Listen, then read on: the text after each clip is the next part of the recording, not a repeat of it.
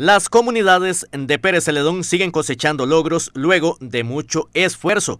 Uno de esos casos es Quebrada Honda en Daniel Flores, que inauguraron una sala de reuniones llamada Edesio Mena Quesada, en honor a todo el trabajo que llevó a cabo don Edesio en esta comunidad generaleña y que también fue el primer presidente de la Asociación de Desarrollo Integral.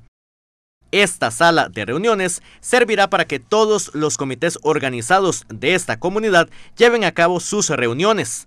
A la vez, también se presentó la placa de agradecimiento a la obra llamada Mejoras en Salón Comunal por medio de ayudas comunales del Ministerio de Obras Públicas y Transportes, en donde se agradeció también a los jerarcas municipales por toda la ayuda que brindaron en esta obra por medio del Ayuntamiento de Pérez Celedón.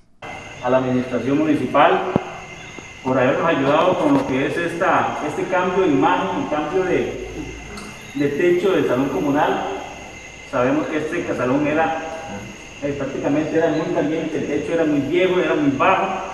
El total de las dos obras fueron cerca de 22 millones de colones, 15 millones de colones en las mejoras del salón y más de 7 millones de colones en la nueva sala de reuniones para todos los comités organizados de esta comunidad.